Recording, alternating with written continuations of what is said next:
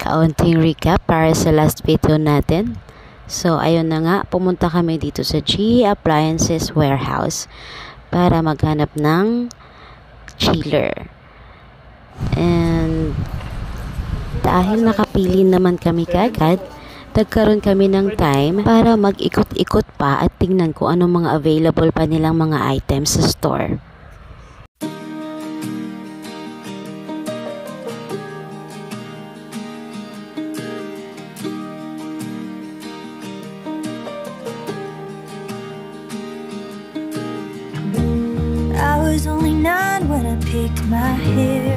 Sa dami ng display nila dito, masasabi ko lang, wala naman talaga pinagkaiba sa mga nakadisplay sa mall. Pinagkaiba lang dito ay yung mga discounts nila. Merong 15%, 30% discount as 45%. And there's more, 85%. Imagine, saan ka pa? Narinig nyo yon? Obsessed siya sa aircon dahil sa sobrang init ngayon. From window type to split type, depende na lang talaga sa choice mo. Nobody knew what to do about that. I couldn't sleep at night, I was stressed out.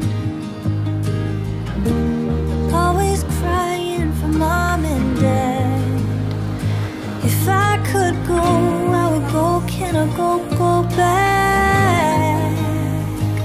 I would hold, I would hold my little hand and say,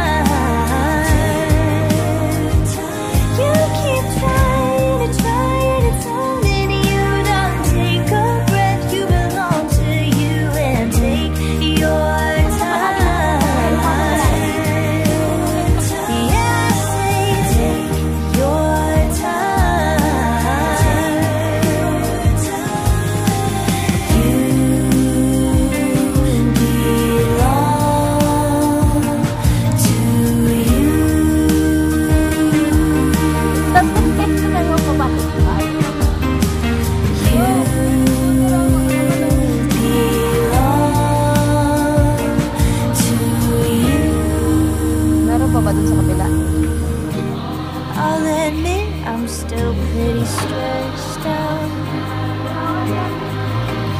But I'm doing the best I can. I don't know if I'll ever get there. But I can love me for who I am. I can't take my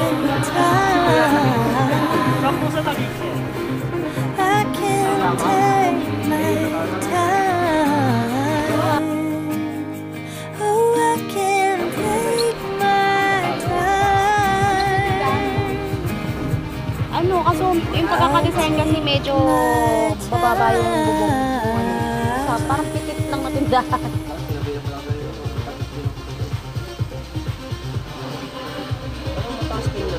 Oo. Ano?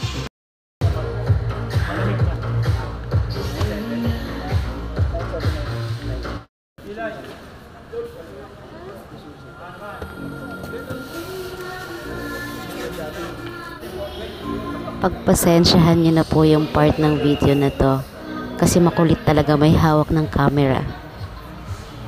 Sayang yung pagkaway ni kuya oh. Hindi tuloy malinaw yung kuha.